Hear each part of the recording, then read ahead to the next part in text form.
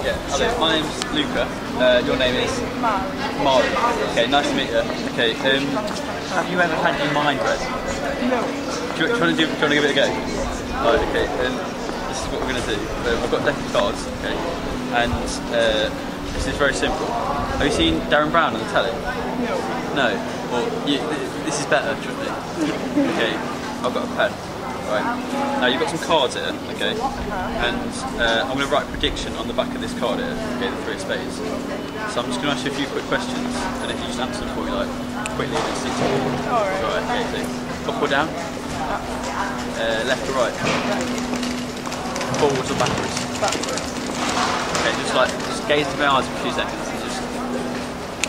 Got it. I've got it. I, I know it. I know how you think. I'm going to just try this, okay? On the back of the three spades, I'm going to write a prediction, okay? So, um, just, just sort of, just try and send me a message as I, uh,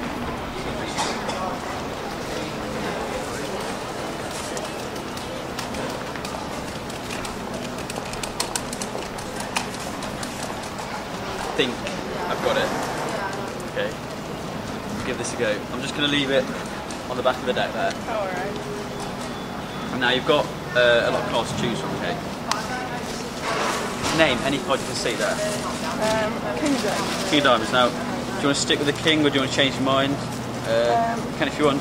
To. I changed the King of Hearts. King of Hearts, right? King of Hearts. Out of all of those cards, Yeah. are you sure you want the King? Yes. So out of all of these, out of all, you know, you've got uh, 52 choices. You chose the King of Hearts, right? You know, was there a reason you went for the King of Hearts? No.